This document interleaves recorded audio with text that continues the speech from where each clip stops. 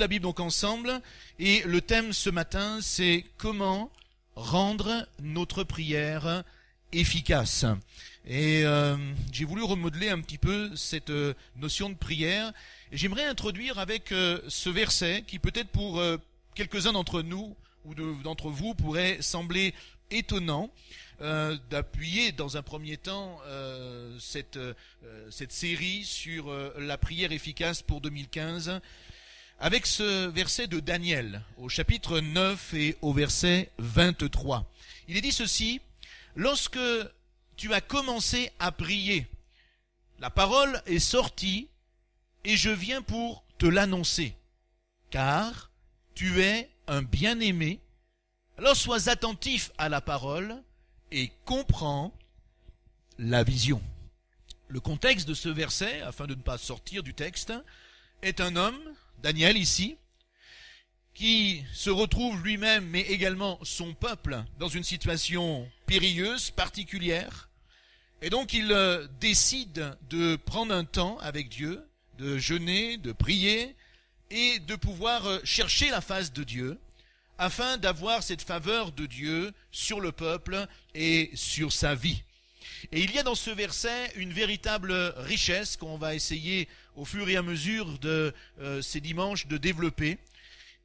La Bible nous dit que au moment où il a commencé à prier, la parole est sortie. Pas sa parole à lui. Bien sûr que quand vous commencez à prier, votre parole se met en action. Mais ici, c'est la parole de Dieu qui sort en réponse à la prière. Vous me suivez? Et l'ange qui lui répond ici lui dit, je viens maintenant pour t'annoncer cette parole parce que tu es un bien-aimé. Est-ce que vous êtes un bien-aimé, une bien-aimée ce matin du Seigneur? Il y en a cinq, six, d'accord.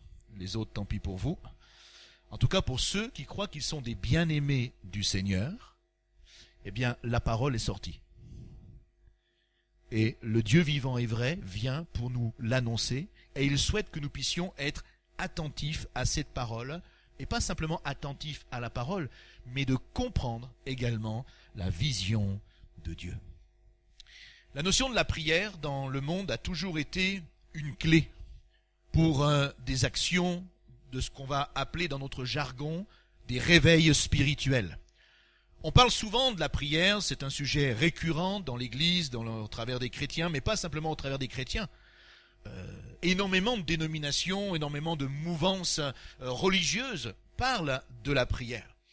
Lorsque, il y a quelque temps, j'ai été invité en Corée du Sud lors d'une euh, convention sur la, croissance des églises dans le monde, nous avons eu l'occasion de partager avec David Yonggisho. Et il y a là le témoignage de ce pasteur qui est assez intéressant. Plus de 800 000 membres aujourd'hui, alors qu'il était dans un pays bouddhiste, plus de 35 000 cellules de prière dans toute la ville, une croissance exponentielle. Il a aujourd'hui un peu plus de 80 ans, il arrive à la fin de sa vie, et quelqu'un qui était là l'a interrogé pour lui dire, mais frère, est-ce que vous pouvez nous donner euh, le secret? Vous savez que vous avez beaucoup de gens qui sont à la recette, qui sont à la recherche, pardon, de la recette magique.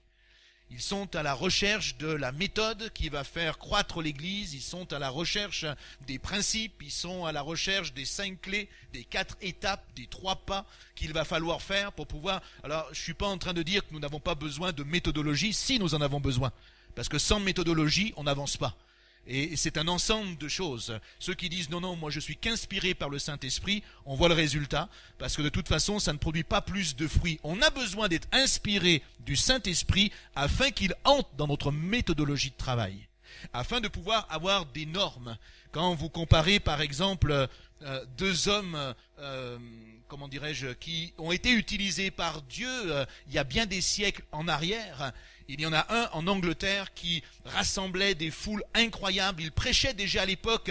Euh, il n'y avait pas des, stades comme maintenant aussi nombreux, mais sur les places publiques, dans, dans les lieux les plus vastes, cet homme traversait à cheval les contrées, les monts, les villes, les villages. Les gens se rassemblaient. Il prêchait l'évangile et il y avait des actions de Dieu extraordinaires. Mais aujourd'hui, personne ne se souvient de son nom. Même pas moi, à l'instant, je suis en train de vous le parler parce que je ne l'ai pas noté, mais je pourrais vous le donner. Et c'est un évangéliste, il y, a, y a quelques récits de lui, un homme qui a fait un travail incroyable, mais personne le connaît aujourd'hui. Et c'était un contemporain de John Wesley. Ah, John Wesley. Vous avez déjà entendu parler de John Wesley? John Wesley n'a jamais rassemblé de foule. Il n'a jamais prêché à des milliers de personnes. Mais John Wesley a lui aussi circulé les monts, les campagnes, les villages. Il a prêché devant des auditoires parfois où il y avait deux personnes, trois personnes. Mais il a mis en place une méthodologie concernant l'évangile qui s'appelle aujourd'hui le mouvement des méthodistes. Et ça, des siècles plus tard, on s'en rappelle encore aujourd'hui. C'est pour ça que nous avons besoin de comprendre que c'est tout un ensemble de choses et ce n'est pas à être simplement exclusif, mais de comprendre comment Dieu œuvre et travaille. Ici, en Corée du Sud, il y a eu un travail vraiment extraordinaire. Et quelqu'un lui a dit donc, euh, c'est quoi le secret? Et cette personne s'attendait certainement à ce que, euh, eh bien, il y ait enfin la méthode qui agisse, qui intervienne. Ici, c'est le bâtiment de l'église principale à Séoul. Il doit y avoir encore une ou deux. Il y a 12 cultes de 12 000 personnes. Et vous avez là un temps d'intercession, de prière. Il y a une ferveur, il y a un désir de voir leur ville, leur pays être changé, être transformé. Et David Yongisho a répondu à cet homme et lui a dit, voilà, mon premier secret, c'est qu'il faut commencer par la prière. Mon deuxième secret, c'est qu'il faut continuer par la prière. Et la troisième étape maintenant, c'est qu'il faut poursuivre par la prière.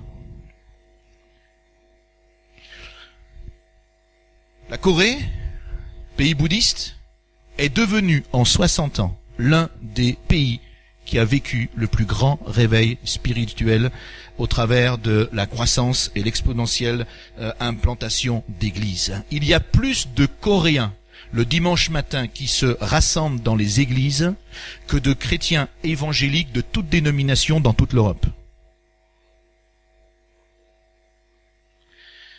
Il dira, la prière, c'est la respiration spirituelle des chrétiens.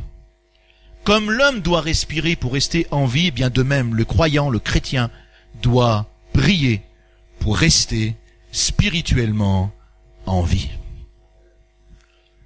Quand nous parlons prière, je suis sûr que déjà à cet instant, et peut-être même simplement en lisant le titre tout à l'heure, plusieurs choses sont venues déjà à votre esprit. Oh, il va encore nous parler de la prière. Ça fait des décennies qu'on entend parler de la prière. Oh, mais la notion de la prière, mais on sait qu'on doit prier, etc., etc. Et en fonction de notre éducation, on se rend compte que euh, on pourrait imaginer tellement de choses. En fonction de notre éducation, peut-être que certains au milieu de nous ce matin pensent que voilà, voilà un thème fastidieux, un thème qui va être fatigant. D'autres pourraient dire tout simplement, peut-être pour les plus anciens d'entre nous, euh, que ça vous rappellerait quelques années passées dans un couvent où on vous a obligé peut-être à prier, à faire certaines prières dans certaines euh, positions peut-être. Hein. Ou alors, euh, vous vous imaginez en pleine montagne, dans la nature, parce que pour vous, c'est là que euh, cet endroit est favorable pour vous rapprocher de Dieu. Ou encore, ben, que finalement la prière, c'est pas pour vous, parce que finalement, vous ne voyez pas comment vous pourriez interpeller Dieu par rapport à vos besoins personnels, parce que vous estimez, vous jugez vous-même que vous n'êtes pas digne de vous approcher de Dieu. Ou encore, peut-être penser que finalement, euh, la prière, c'est utile, oui, mais uniquement quand on en a besoin. Le reste du temps, c'est pas nécessaire. Ou encore la prière, oui, mais, mais seulement quand j'en ai envie. Voilà. Parce que j'estime que si j'en ai pas envie et que je prie, eh bien peut-être que euh, ça ne produira rien. Ou encore, euh, bah, vous avez tout simplement euh, pas le temps d'y penser et vous êtes tellement pris dans vos activités de tous les jours que finalement la prière devient un, luxe qui aujourd'hui, eh bien, vous ne pouvez pas vous le payer. Je voudrais vous parler ce matin d'une prière, de la prière, mais qui change les circonstances. De la prière qui change notre vie, de la prière qui va changer notre destinée, de ce type de prière qui va nous amener dans une vision nouvelle. J'aimerais vous parler ce matin de cette prière qui change notre famille, qui change notre ville, qui peut changer aussi notre pays. Réglons d'emblée une mauvaise compréhension et une mauvaise interprétation de la notion de la prière. Parce que les religions ont utilisé la notion de prière. Mais ils l'ont utilisé, toutes les religions, pour mettre un joug sur les personnes. En leur disant que finalement c'est un rituel absolument nécessaire qu'il faut accomplir si nous voulons que Dieu soit vraiment clément avec nous. Et dans toutes les religions, aujourd'hui encore, vous voyez cela. C'est la, la réalité pour laquelle aujourd'hui vous avez les musulmans qui estiment qu'il faut prier cinq fois par jour. Mais bien avant les musulmans, vous aviez déjà les juifs qui, eux, avaient défini qu'il fallait prier sept fois par jour. Les bouddhistes, eux, ils ont remporté le pompon parce qu'ils ont inventé la prière 24-7.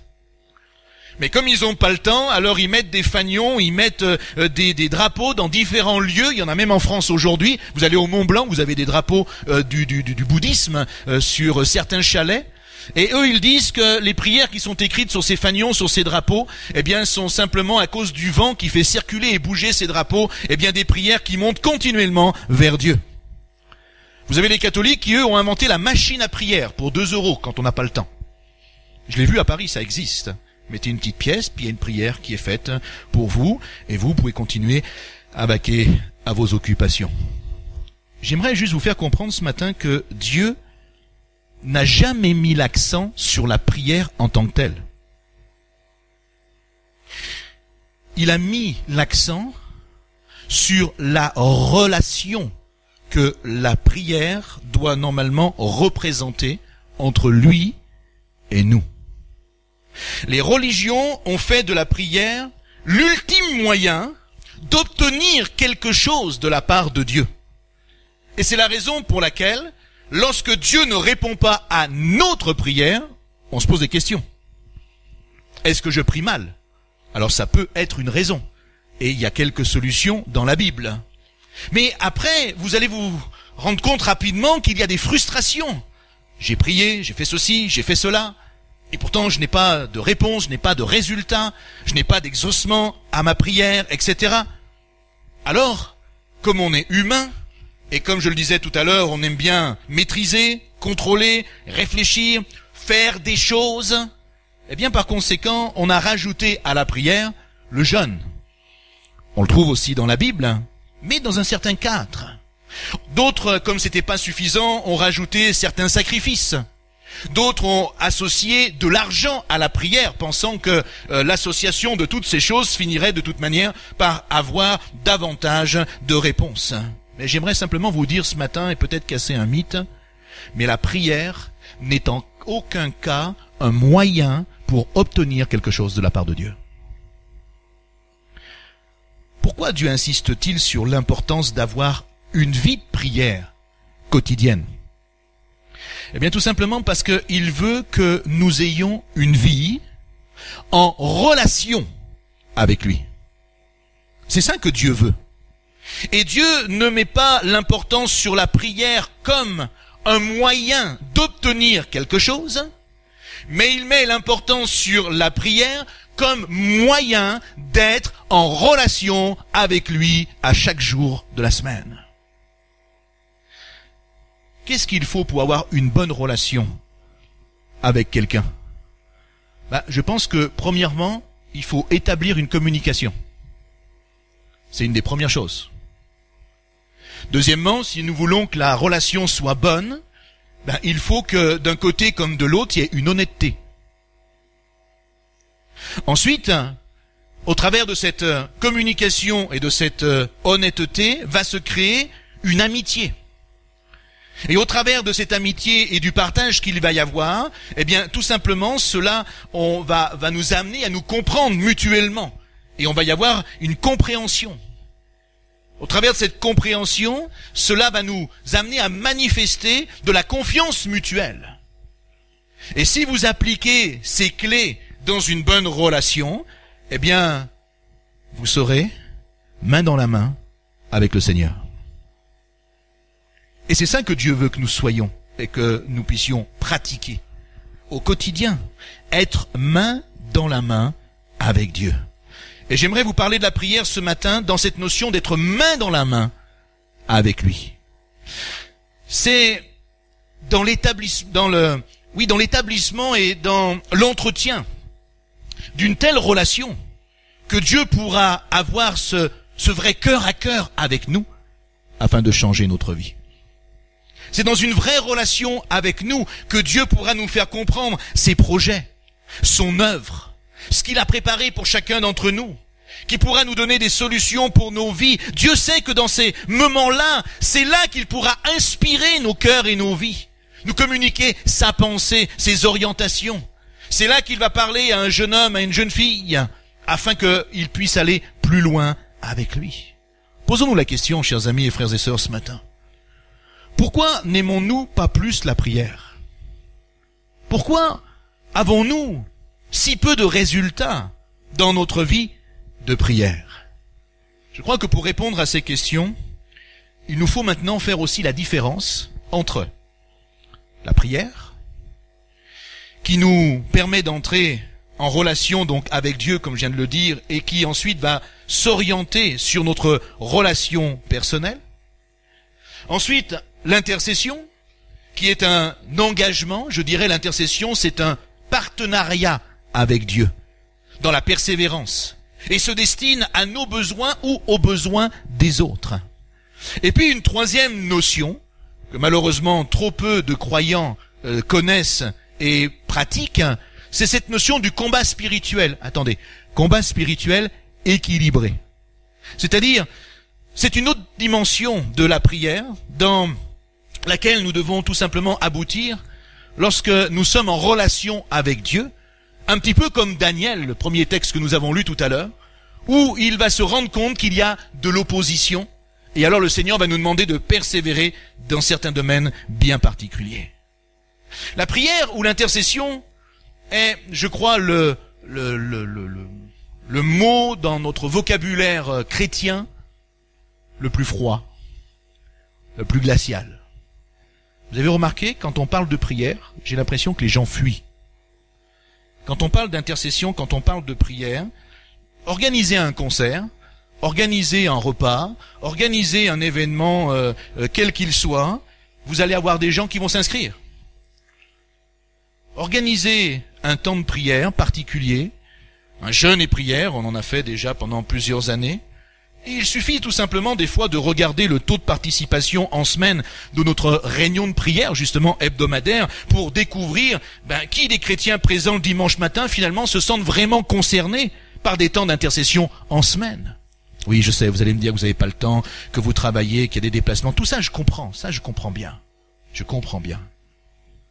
Mais, en même temps, je pense que si on pense que certaines choses dans notre vie est prioritaire, alors on va organiser notre agenda en fonction de nos priorités. Et si nous considérons que finalement la prière hebdomadaire de l'Église, ce n'est pas important, eh bien on va organiser nos priorités autour de bien autre chose. Et c'est la raison pour laquelle parfois finalement le mot prière a souvent une connotation avec les mots euh, ennui, fatigue, long, barbant, démotivant. C'est toujours les mêmes. C'est pas pour moi. La prière, c'est réservé à une élite, à un ministère, à ceux qui sont appelés pour ça. Toutes les églises dans le monde ont des réunions de prière, mais vous vous rendrez compte que très peu de chrétiens euh, s'y rendent véritablement. Vous avez des églises, je rentre du Canada, où il y a 3, 4 000, 5 000 personnes par dimanche, mais à la réunion de prière, il y a moins de 200 personnes. On estime à peu près que 10% des membres d'une église présents au culte dimanche matin se retrouvent en semaine à la réunion de prière. Je me suis posé moi-même la question pour me dire, mais comment se fait-il que finalement euh, nous n'ayons pas envie de prier? Est-ce qu'il y a quelque chose que nous n'avons pas compris? Pourquoi euh, nos réunions semblent fatigantes, barbantes ou sans intérêt?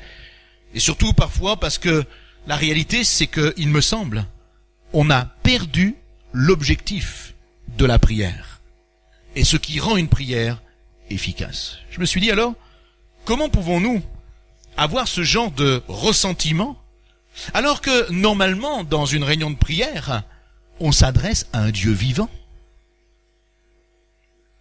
Non, d'accord. Un Dieu enthousiasme. Vous savez ce que ça veut dire que le mot enthousiasme? Il me semble que je l'ai dit il n'y a pas très longtemps, mais je vois que vous en rappelez plus. Qu'est-ce que ça veut dire le mot enthousiasme? C'est très étonnant comme euh, être possédé par Dieu.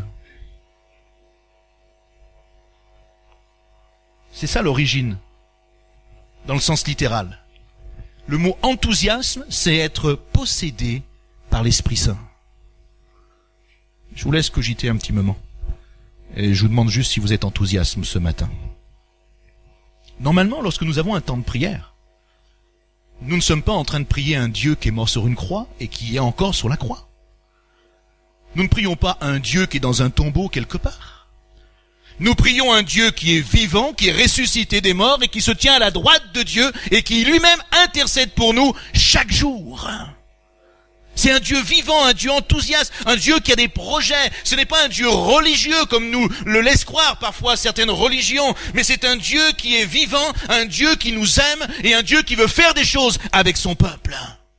Et la prière, je crois, devrait être un moment particulièrement excitant. Parce que normalement, justement, elle nous met en relation avec ce Dieu vivant et vrai. Je crois que si nous qualifions aujourd'hui la prière par ces différents adjectifs que j'ai pu citer tout à l'heure, eh bien, c'est que certainement nous en faisons de la prière ce qu'elle est aujourd'hui. Tellement facile de critiquer, tellement facile de dire moi je vais pas ici parce que c'est comme ceci, comme cela. Viens mon frère, ma sœur, et viens apporter autre chose. Viens apporter autre chose. Tellement facile de ne pas venir, de se retirer, de ne pas le soi-même avoir même un temps individuel avec Dieu. Je suis pas simplement en train de parler d'une réunion qu'on peut organiser, mais combien sont ceux qui disent mais oh, c'est pas la peine d'être en présence de Dieu, je sens que ça va pas, ça que ça colle pas, ça et on passe à autre chose. Et on reste dans un système mental religieux. Si nous pensons finalement que la prière est simplement le moyen de faire connaître à Dieu nos besoins, ben, c'est évident que cela devient très très très réducteur. Parce que la prière, c'est beaucoup plus que cela. La réalité du moyen de la prière, c'est un cœur à cœur avec Jésus-Christ. Comme euh, cela a été dit déjà tout à l'heure, la prière, c'est le moyen de faire connaître nos besoins à Dieu. Oui, c'est vrai, mais c'est surtout un moyen pour établir une communication avec Dieu, afin d'être en relation avec lui dans une intimité journalière, personnelle, avec le Père. Pourquoi Jésus, dans son ministère, savait-il toujours ce qu'il devait dire ou ce qu'il devait faire? Pourquoi Jésus, lorsqu'il engageait quelque chose, il avait toujours du succès? Ben, il avait un simple secret que nous retrouvons dans l'évangile de Jean. Nous on dit c'était Jésus, le Fils de Dieu. Il était donc tout puissant. Oui et non. Il est dit dans l'évangile de Jean, le Fils ne peut rien faire par lui-même, mais seulement ce qu'il voit faire au Père. Et tout ce que le Père fait, le Fils le fait également. On une autre version, la version parole vivante, dit ceci. Le Fils ne peut rien faire de sa propre initiative. Waouh Moi je croyais que Jésus faisait ce qu'il voulait puisqu'il était le Fils de Dieu. Là, normalement, c'est ce qu'on pense, non? C'est ce que la plupart des chrétiens d'ailleurs imaginent. Non mais Jésus, c'est le Fils de Dieu. Il fait ce qu'il veut, quand il veut. Non. Jésus lui-même est soumis à une hiérarchie. Oui, je sais que c'est un mot qu'on n'aime pas entendre aujourd'hui. On veut être libre, on veut être freedom, on veut être tout ce que vous voulez. Mais euh, voilà, c'est, euh, on veut être dans un style complètement libre. On veut. Mais Jésus lui-même est soumis à la hiérarchie du Père. Le Fils ne peut rien faire de sa propre initiative. Si je prêchais ça aujourd'hui dans le leadership, vous n'avez pas d'esprit d'initiative. Hein. Vous faites simplement ce que je vous dis de faire. Oh le. Oh là là, la révolte, la rébellion.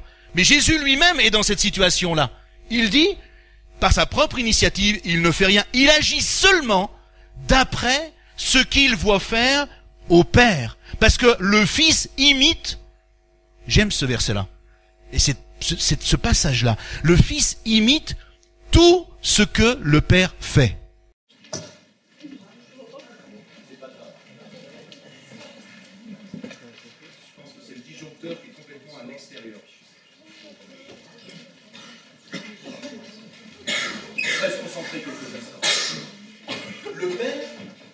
Sait exactement ce qu'il doit faire. Vous êtes d'accord avec nous Jésus ne fait rien de sa propre initiative. Il fait ce que le Père lui demande de faire.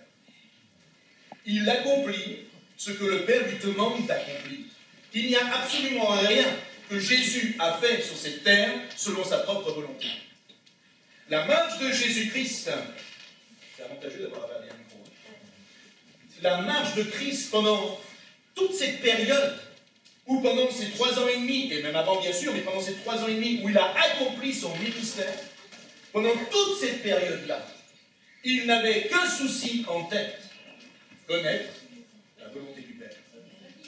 Qu'est-ce que le Père voulait accomplir? Qu'est-ce que le Père voulait faire? Comment le Père voyait les choses? Quelle était l'œuvre du Père? Quelle était la volonté du Père? Qu'est-ce que le Père voulait que j'accomplisse, même lorsqu'il y avait simplement un homme ou une femme devant lui il était simplement dans cette interrogation, jamais il n'a pris cette initiative de par lui-même de faire certaines choses quand il a choisi ses disciples. Il est allé chercher le Père. Et à plusieurs reprises, vous voyez qu'il y a cette relation entre le Père, le Fils, qui est sur la montagne, la nuit, où il est là, il est en train de chercher la volonté de Dieu. Et ça, c'est une réalité pour nous aujourd'hui. Et...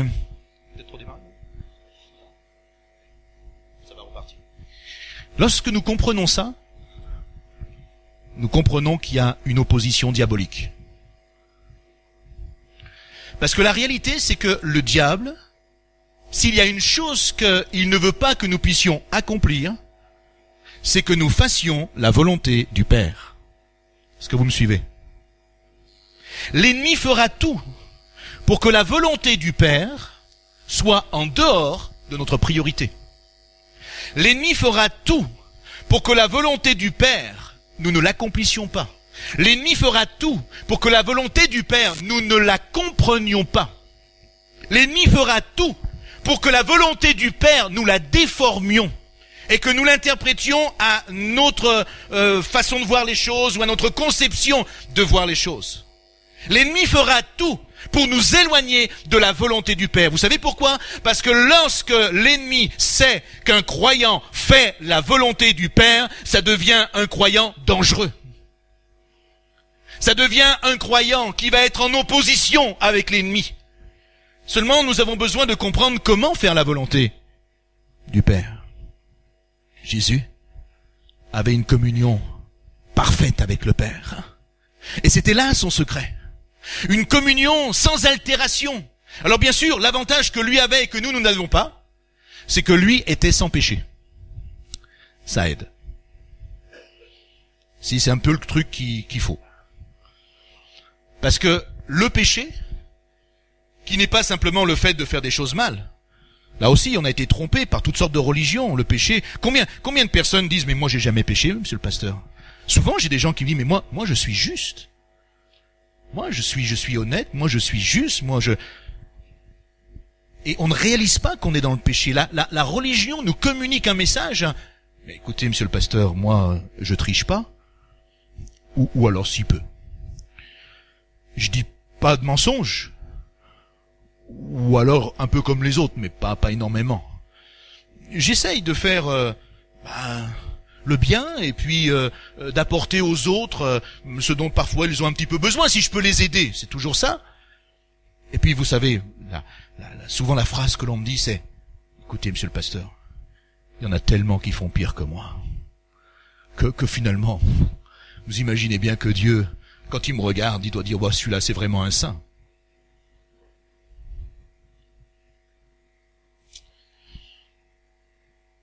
La réalité, c'est que le péché, ce n'est pas dire un mensonge, tricher, être vulgaire.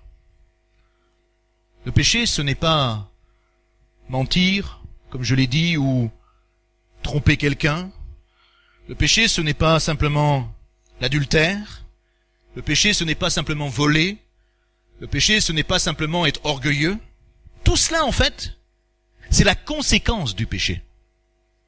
Le péché, dans son essence même, c'est de ne pas comprendre la volonté de Dieu et de vivre la volonté de Dieu. Pardonnez-moi ce matin, mais il y a beaucoup de chrétiens qui sont dans le péché.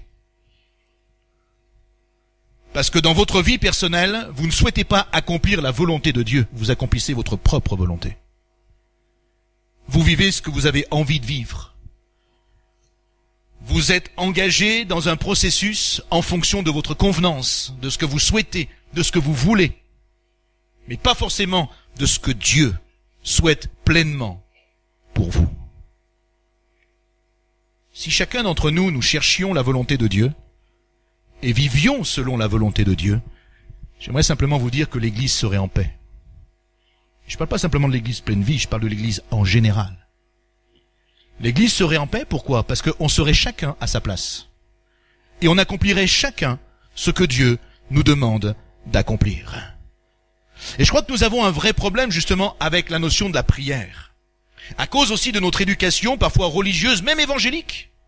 Notre culture, nos habitudes ont altéré l'enseignement de Jésus. Par exemple, dans Luc 18, la Bible nous dit que Jésus leur adressa une parabole pour montrer qu'il faut toujours prier, toujours prier, toujours prier, et ne pas se relâcher. Mais qu'est-ce que cela veut dire? Bah, Certains disent, oui, ben il faut toi, pasteur, toujours il faut prier sans cesse, sans cesse, sans cesse, sans cesse. Et puis vous avez certaines personnes qui, chaque jour, eh bien, ils racontent toute leur vie au Seigneur, dans les moindres détails. Comment ils étaient habillés, coiffés, ce qui s'est passé au marché, comment ça s'est passé dans le bus, etc., etc. Pensant que finalement, de cette manière, eh bien, ils vont plaire à Dieu. Mais je crois qu'au final, je me suis rendu compte que ils n'avaient pas plus d'exaucement que les autres. Certains sont là avec des listes interminables et ils sont toujours en train de prier, de prier, de prier, de prier, de prier. Je suis pas en train de dire d'avoir des listes de prières, c'est pas bien. Si, c'est bien d'avoir des listes de prières, puisque ça rejoint ce que je disais tout à l'heure. Il faut savoir être organisé.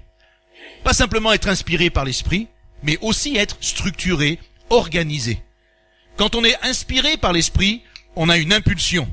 Quand on est organisé avec le Saint-Esprit, on va plus loin. Sinon, après, on oublie.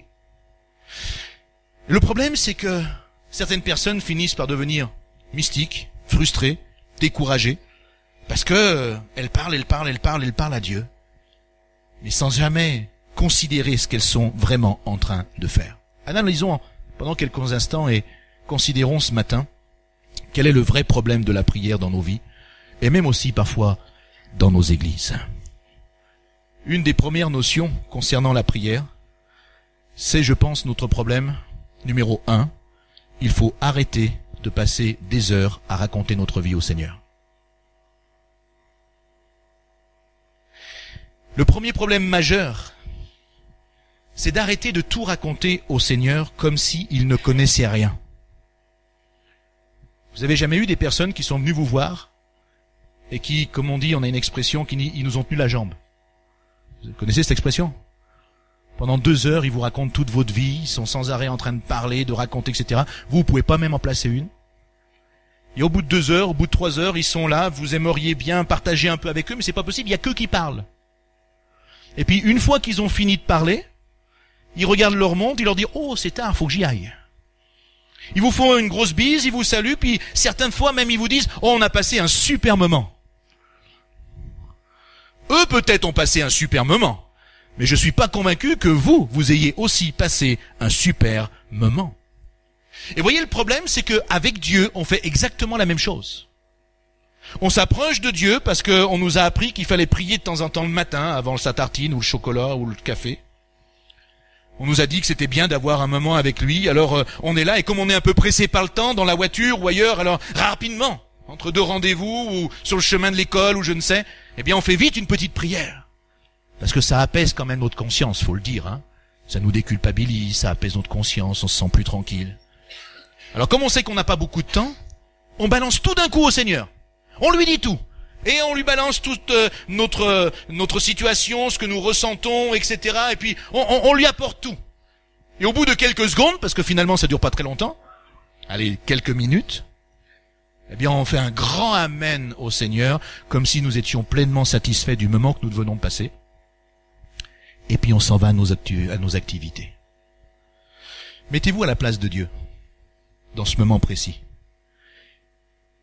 comment le Seigneur a-t-il vécu ce moment avec nous?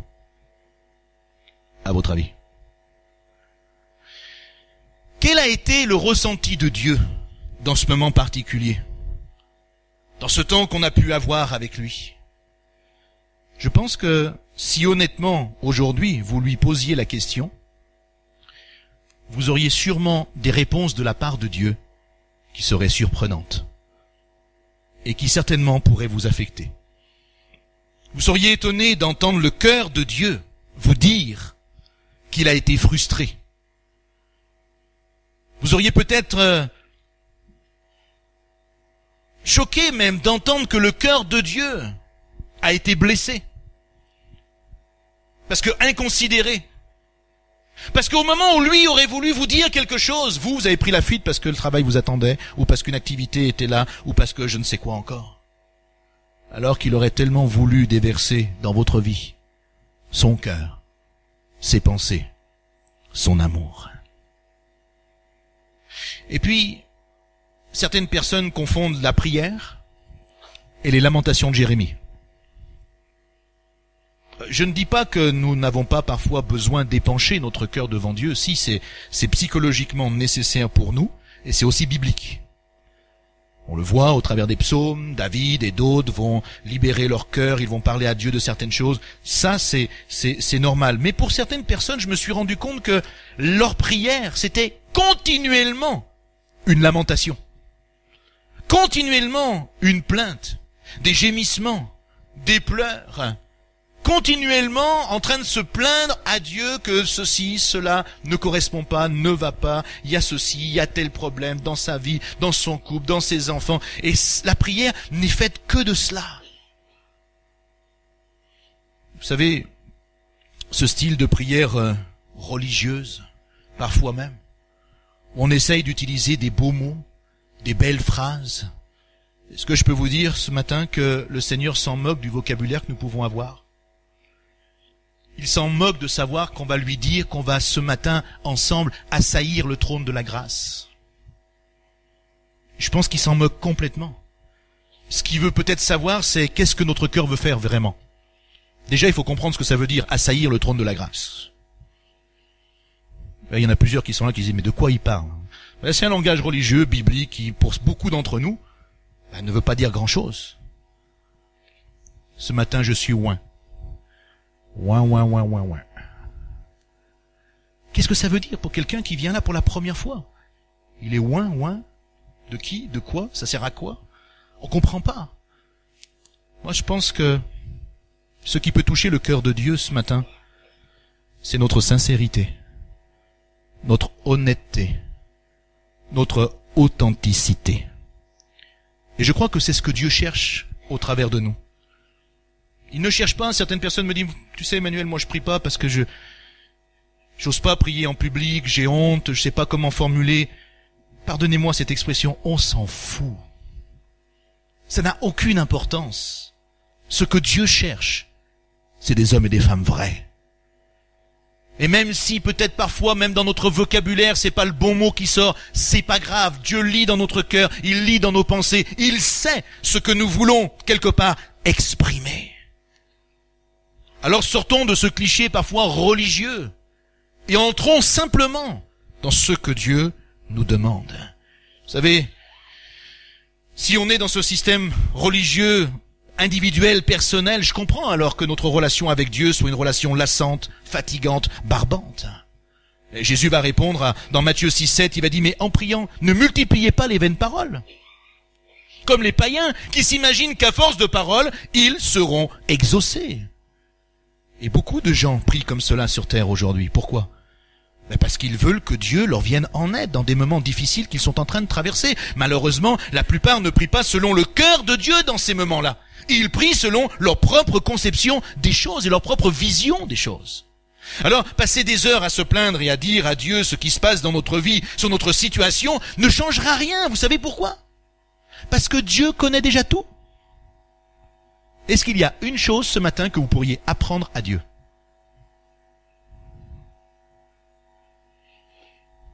Dieu connaît tout de notre vie. Dieu connaît tout de notre situation, tout de nos problèmes, tout de notre difficulté. Donc finalement, lui dire où nous en sommes, ce que nous vivons, nos combats, nos, recherches de solutions, dont nous prendre très peu de temps. Pourquoi? Parce qu'il est déjà au courant de tout. Nous avons besoin d'une nouvelle dimension. Ce que nous devons faire, c'est apprendre à exprimer simplement notre situation actuelle devant Dieu en quelques instants. Et arrêter parfois de passer des heures à monopoliser le dialogue en lui racontant toute notre vie parce que il y aurait peut-être autre chose qui se passerait dans ce moment-là. Un des deuxièmes problèmes que nous avons dans la prière, c'est qu'il faut qu'on arrête de conseiller Dieu dans nos prières.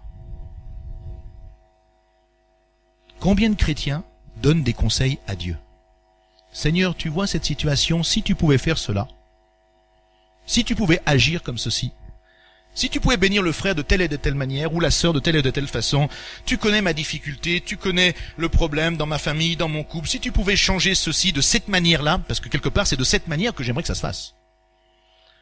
La vérité, on n'est pas comme ça dans nos prières? Non, pas vous, parce que vous avez déjà tout compris et vous êtes euh, super spirituel. Mais la réalité, c'est que quand je voyage dans d'autres endroits, je rencontre des croyants, des chrétiens, qui, qui sont comme ça. On donne des conseils à Dieu, toujours en train de conseiller Dieu, de lui dire ce qu'il devrait faire, comment il devrait le faire, de quelle manière il devrait faire, etc., etc. L'apôtre Jacques, au chapitre 4, le verset 3, nous dit ceci. Vous demandez et vous ne recevez pas. Pourquoi? Parce que vous demandez mal. Vous demandez dans le but de satisfaire votre passion. La version Summer dit, vous demandez avec de mauvais motifs. Vous voulez que l'objet de vos demandes serve à votre propre plaisir. Il est dit dans le but de satisfaire. Je crois que parfois, consciemment ou inconsciemment, nous voulons que Dieu agisse selon notre propre volonté, n'est-ce pas? Selon ce que nous, nous, nous voyons d'une situation, la manière dont nous jugeons une situation, et surtout la manière dont nous aimerions que cette situation se règle. Alors on prie dans une certaine direction et on conseille Dieu dans nos prières dans une certaine direction. Il y en a même certains, j'ai vu cela, vont jusqu'à lui demander, ou plutôt lui, lui donner des ordres. C'est étonnant. Mais que dit la parole de Dieu? Ah, Nous devons comprendre qu'il n'y a aucune situation, je l'ai dit, qui échappe à notre Dieu. Sous son contrôle. Même si nous pensons que ce monde semble être mal géré, et que le mal domine, la réalité c'est que tout est sous son contrôle. Il détient toute chose dans sa main. Et j'aimerais juste vous faire comprendre quelque chose ce matin. Si nous aurions simplement que trois secondes de visibilité du monde spirituel, nous comprenions pourquoi alors le monde est en train de vivre et de passer par là où il passe. Sauf que le Seigneur ne nous a pas appelés à vivre par la vue, il nous a appelés à vivre par la foi. En lui faisant confiance. Et c'est ça que Dieu nous demande. Et si nous avions simplement trois secondes du monde spirituel, on s'approcherait de Dieu, on lui demanderait pardon, on lui dira, je comprends maintenant pourquoi les choses se passent de cette manière-là sur notre planète. Mais la réalité, c'est que voilà, il nous dit, tu me fais confiance ou pas? Et nous avons un vrai problème aujourd'hui avec la confiance de Dieu. Parce que justement, comme je disais ce matin, on ne s'abandonne pas vraiment à Dieu. On veut toujours maîtriser, contrôler, on veut toujours euh, réfléchir, arriver avec notre mentalité, notre esprit, maîtriser toute chose. Mais on ne peut pas maîtriser le Saint-Esprit. On ne peut pas contrôler le Saint-Esprit. Et vous ne pouvez pas être à la fois dépendant de Dieu dans sa totalité et laisser Dieu faire avec vous ce qu'il veut et en même temps vouloir tout comprendre, tout contrôler, tout gérer. C'est impossible. Certains disent mais j'ai pas vraiment le parler en langue, le baptême dans le Saint-Esprit, je mais tant qu'on contrôle ces choses-là, elles viennent pas. C'est pas possible. Ou alors on est dans du mimétisme. Il faut à un moment donné s'abandonner tout simplement. Dieu a tout sous contrôle. Et ce qu'il a besoin, ce ne sont pas de nos déductions. Ce qu'il a besoin, ce ne sont pas de nos envies ou de nos conseils parfois trop égoïstes. Je pense que ce qu'il a besoin, c'est ce que Paul va dire par exemple dans 1 Corinthiens chapitre 10 le verset 13. Qu'est-ce que Paul dit? Il dit rassurez-vous, ayez confiance parce que avec l'épreuve, eh bien Dieu a déjà ménagé une issue pour que vous puissiez la supporter.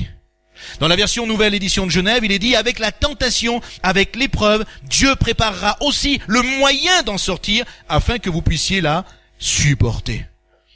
Alors, la réalité, c'est que ce dont nous avons besoin, eh bien, ce n'est pas de donner des conseils à Dieu. Ce n'est pas de découvrir euh, par, comment dirais-je, avec simplement notre intelligence ce que Dieu veut faire. Mais il nous faut aller chercher la solution auprès de Dieu. Et ça, ça se passe par l'Esprit. C'est le moyen divin, la prière, que Jésus nous a donné.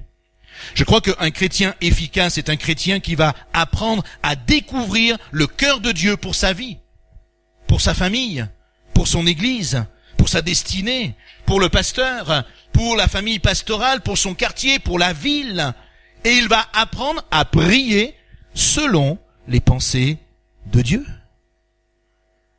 Alors, quel est le secret Je termine avec ce dernier point. Bah, Dieu dit, réapprenez à m'écouter dans vos temps de prière. Réapprenez à être sensible à ma voix. Ne faites pas simplement que de prier. Mais si vous voulez une prière efficace, alors il y a ce secret à connaître. Apprenez ou réapprenez à entendre la voix de Dieu et à vous dire concernant la situation ou le problème particulier que vous êtes en train de traverser, ce que lui a prévu de faire et d'accomplir.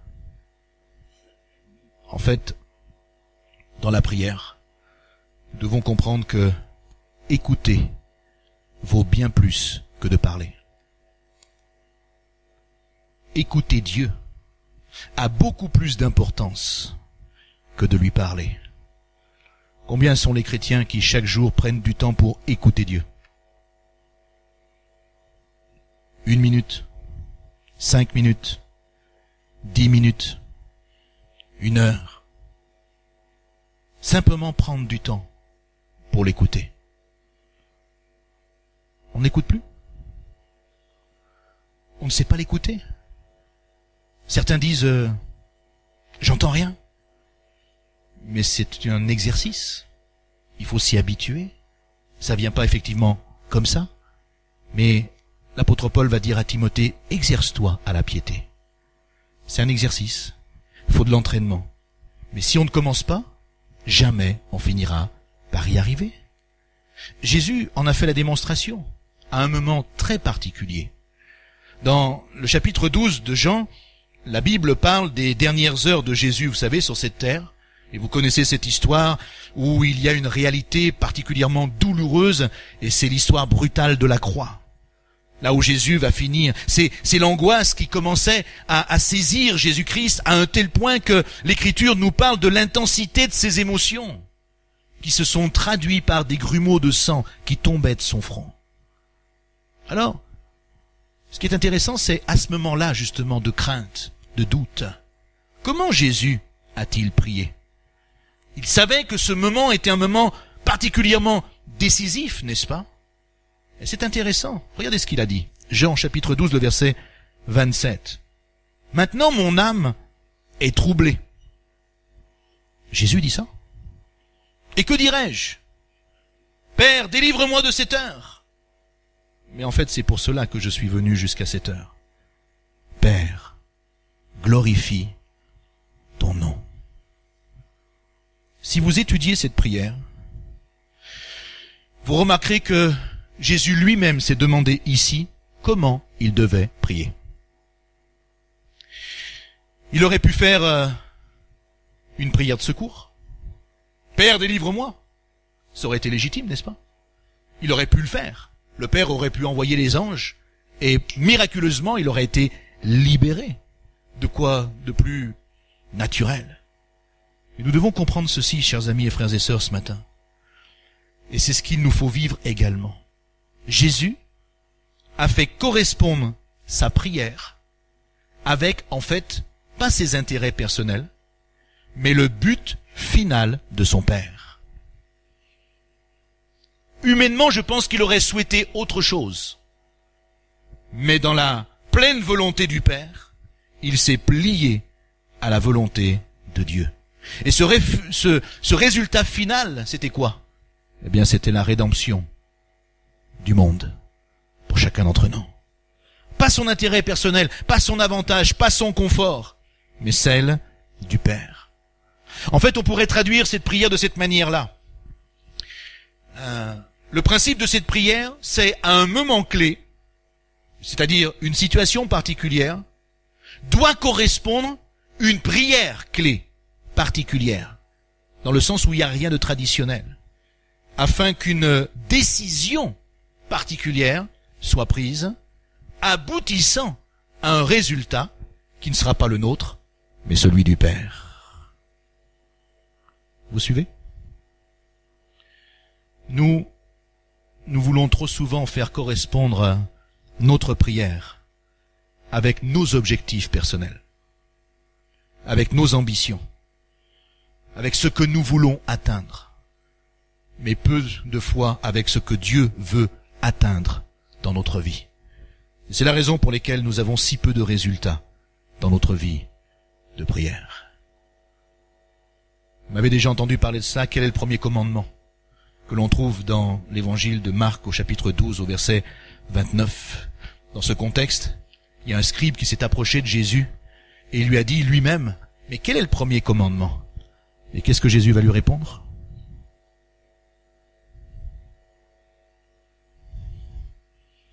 Allez, on va tordre la théologie un petit peu euh, ce matin. Il va parler à ce scribe. C'est bizarre, il va pas répondre au scribe. Mais il va répondre à la foule qui est là. Et il commence par ces mots. Jésus répondit, Voici le premier, écoute Israël. Tu aimeras le Seigneur ton Dieu, etc., etc., etc.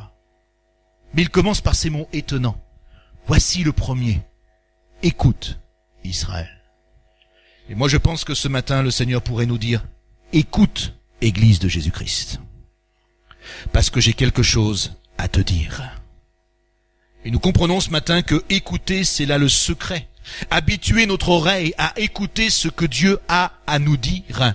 Combien de temps prenons-nous aujourd'hui à parler à Dieu, mais combien de temps prenons-nous aussi à écouter Dieu? Vous avez remarqué combien les, chrétiens modernes aujourd'hui du 21e siècle ont peur du silence? On n'aime pas le silence. La génération Y d'aujourd'hui a toujours un casque sur les oreilles. C'est pour ça qu'on les appelle Y. Toujours quelque chose dans les oreilles, dans la voiture, quelque part.